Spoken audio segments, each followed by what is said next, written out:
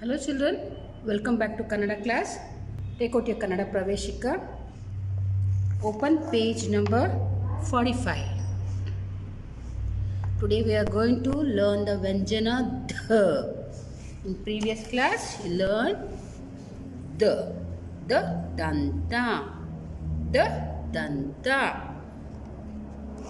After the dha, dha, dha धुमुकु। ध, धुमुकु। धुमुकु means jump. Write to date eighteen bar three bar two thousand twenty one how to write ध?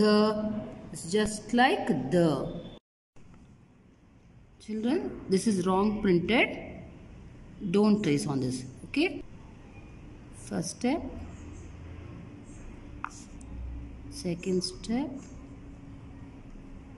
We are writing the Vyanjana the. Third step.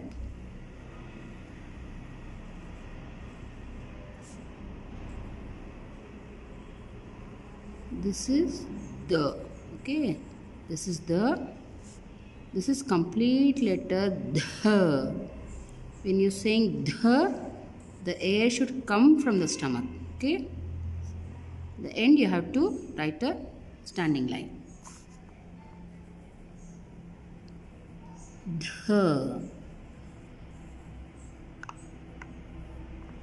dh dhumuku dh dhumuku okay children complete this page and send it to me